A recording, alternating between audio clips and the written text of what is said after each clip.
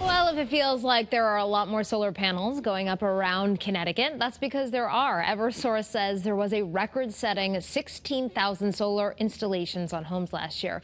But it isn't for everyone. Consumer investigative reporter Cassidy Williams has been digging into everything you need to know about going solar. Cassidy. Yeah, state data shows energy output from solar panels on homes more than doubled from 2022 to 2023. But with that, complaints about solar companies to the Attorney General's office more than tripled. Common complaints include issues with the sales process, the installation, and billing. All week, we're going to be breaking down what you need to know and how to end up in a, avoid ending up in a contract you might regret. We start tonight by showing you how much solar costs and how much you can save. Even on a cloudy day, Joe Graybars is grateful for his solar panels. As a single person, this enables me to be a homeowner by reducing my utility costs. It's been fabulous. Graybars has had the panels for around eight years. He says they produce enough energy each month to cover his entire electric bill. He only has to pay around $10 a month for the connection charge. I'm saving a couple hundred dollars a month with this. Eversource does not sell or install solar panels, but they are involved in the process of connecting your solar panels to the grid. Even with solar, you'll still get a bill from Eversource each month showing your electricity usage and charging you a connection fee. We approve that project before it's built.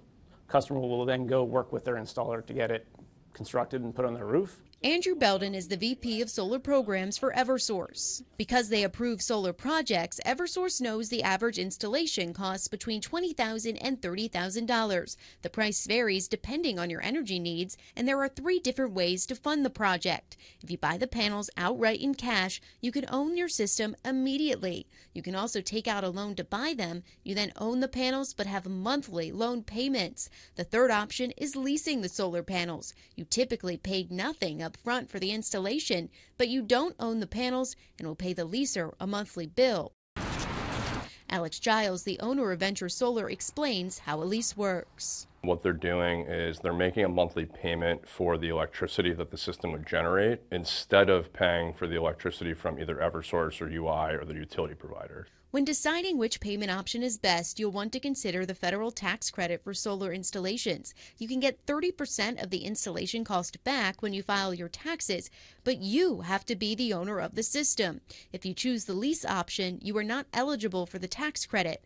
But there are Connecticut incentives you may qualify for. There's another incentive in Connecticut called the Residential Renewable Energy Solutions Program, and that allows you to sell your energy back to the grid at the, the same rate as you pay us for, for electricity. So, how much you can save each month depends on a number of factors. Belden says to be careful of companies that quote unbelievable savings. One of the things that we frequently hear is that installers will make projections about the savings for solar that are hundreds or $200,000. That's really not a, not a credible estimate. Graybars bought his panels in cash, so there's no monthly payment. He also received the federal tax credit, but for him, the decision wasn't strictly about the dollars and cents. I feel like this is not just helping me and my wallet, but I'm contributing to the community that I'm a part of to make it a better place. Eversource has a number of resources to help you find out if your home is a good candidate for solar based on your location and monthly bill. We have links on the WFSB app.